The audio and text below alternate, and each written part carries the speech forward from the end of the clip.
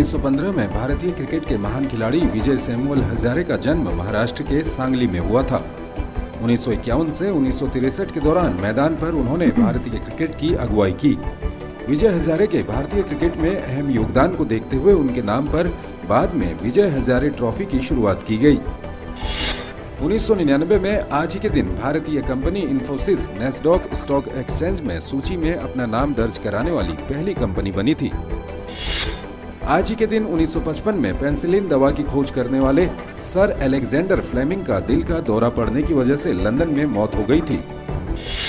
2004 में आज ही के दिन स्पेन के मैड्रिड में लगातार 10 जगहों पर सिलसिलेवार धमाके हुए थे। इन धमाकों में एक सौ इक्यानबे लोगों की मौत हो गई थी, जबकि 2000 से ज़्यादा लोग घायल हो गए थे।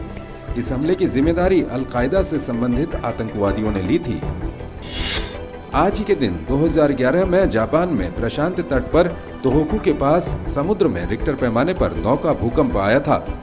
ये जापान के इतिहास में दर्ज अब तक का सबसे शक्तिशाली भूकंप था। सुनामी उठ खड़ी हुई जिसकी लहरें 133 फीट तक ऊँची थीं। जापान की नेशनल पुलिस एजेंसी के अनुसार भूकंप और सुनामी के चलते 15,850 लोग मारे गए थे।